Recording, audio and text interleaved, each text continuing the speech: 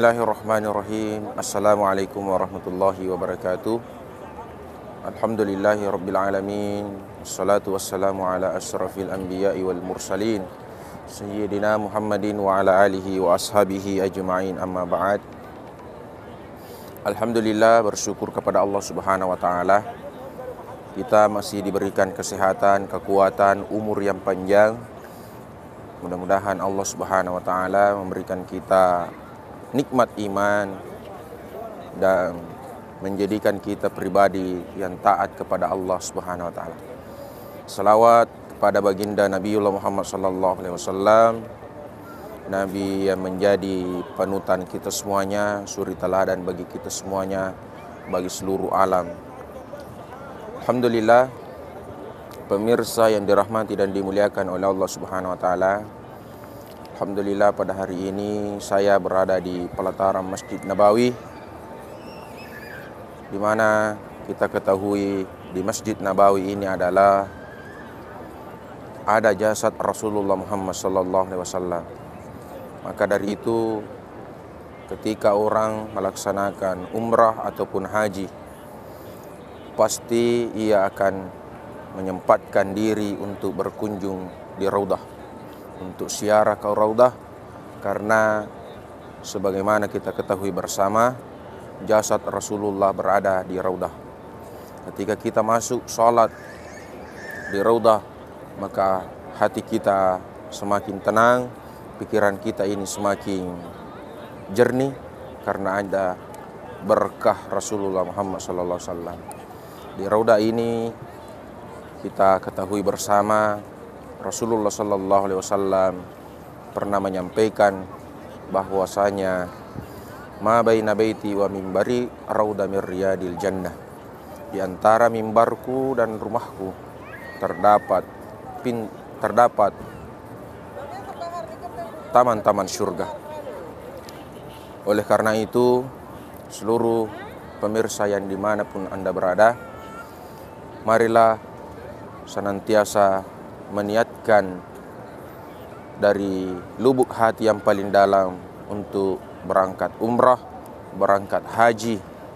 Kita datang di Masjid Nabawi ini semata-mata untuk ibadah kepada Allah Subhanahu wa taala. Kita melaksanakan sholat di Masjid Nabawi satu rakaat, maka Allah akan limpahkan pahala sholat yang kita kerjakan. Bayangkan begitu banyak pahala yang kita dapatkan ketika berada di Masjid Nabawi. Nabawi ini luar biasa megahnya Masjid Nabawi, luar biasa hebatnya Rasulullah Muhammad sallallahu alaihi wasallam datang membangun kota Madinah ini menjadi ikonik umat Islam seluruh di dunia ini datang berkunjung tanpa memikirkan keluarganya, dia meninggalkan rumahnya, meninggalkan pekerjaannya, kampung halamannya demi untuk mencapai ridho dari Allah Subhanahu wa taala dan kasih sayang Rasulullah Muhammad SAW. Pemirsa yang dirahmati dan dimuliakan oleh Allah Subhanahu wa taala.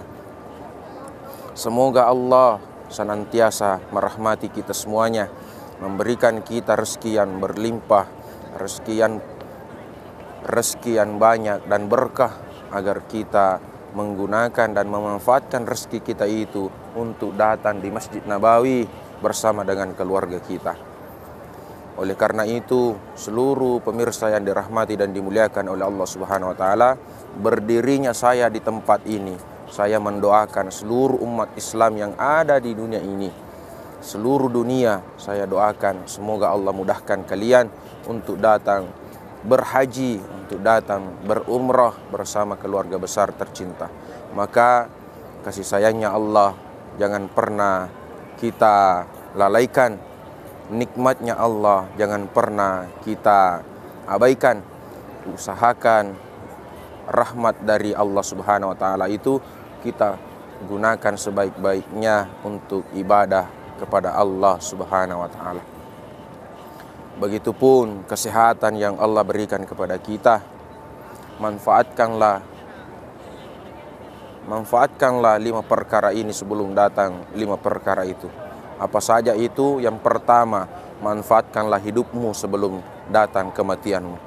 Artinya, kehidupan ini kita tidak tahu sampai mana kita hidup, dan Allah yang mempunyai rahasianya tentang kematian. Kita hidup di dunia ini karena Allah. Allah yang menghidupkan kita dan Allah yang akan mematikan kita. Bukankah kita setiap salat membaca Inna salati wa nusuki wa mahyaya wa mamati wa mahyaya wa mamati lillahi rabbil alamin. Sesungguhnya salatku, hidupku, rezekiku, matiku lillahi rabbil alamin. Setelah Allah punya rahasia semuanya. Yang kedua, manfaatkan kesempatanmu sebelum engkau sibuk. Allah memberikan kita kesempatan yang luang, yang lowong, maka pergunakan kesempatan itu sebelum kita sibuk mengurus harta-harta kita yang yang tidak tahu kapan kita kembali kepada Allah Subhanahu wa taala. Seluruh pemirsa yang dirahmati dan dimuliakan oleh Allah Subhanahu wa taala. Lalu yang ketiga, manfaatkan masa mudamu sebelum datang masa tuamu.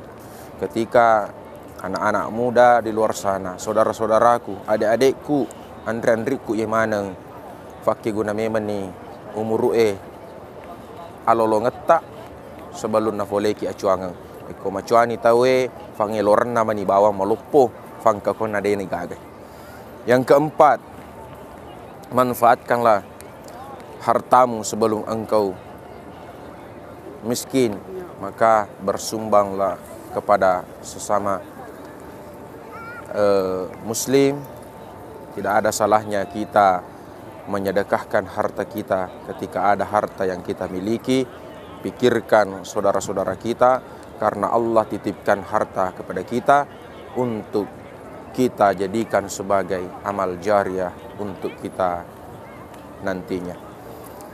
Selanjutnya jamaah yang dirahmati dan dimuliakan oleh Allah Subhanahu wa taala. Maka ketika kita mampu memanage waktu ini dengan baik, maka Allah Subhanahu wa taala pasti akan diberikan kita kemudahan-kemudahan dalam ibadah. Hati ini terasa tenang, hati ini terasa dekat kepada Allah, kepada Rasulullah, kepada sahabat, kepada tabi'in, kepada tabi'ut tabi'in. Kita sangat soleh, kita berusaha semaksimal mungkin untuk selalu menjadi pribadi yang lebih baik. Mungkin inilah pada kesempatan yang berbahagia ini, di waktu yang singkat ini, melalui rekaman, melalui tayangan ini, seluruh umat Islam yang tersebar di seluruh dunia mudah-mudahan termotivasi agar tidak menimbung hartanya begitu saja agar bisa mempergunakan hartanya ke jalan yang lebih baik salah satunya untuk berumrah atau haji datang kepada Rasulullah Muhammad SAW di Masjid Nabawi. Masjid Nabawi ini sangat indah. Masjid Nabawi ini tidak ada hal-hal yang membuat kita sombong. Maka pelajaran besar bagi umat muslim ketika datang di Masjid Nabawi ini perlunya ada kepribadian Rasulullah dia miliki karena kesederhanaan Rasulullah Sallallahu Alaihi Wasallam itu selalu ditonjolkan melainkan bukan kesombongannya. Mudah-mudahan ada manfaatnya bagi kita semuanya, terutama bagi saya pribadi. Mudah-mudahan Allah merahmati kita semua, dimudahkan segala urusan-urusan kita. Mungkin inilah yang sempat saya sampaikan. Mohon maaf apabila ada kesalahan dan kekurangan. Wabillahi taufik wassa'adah. Wallahul muwafiq ila aqwamit Assalamualaikum warahmatullahi wabarakatuh.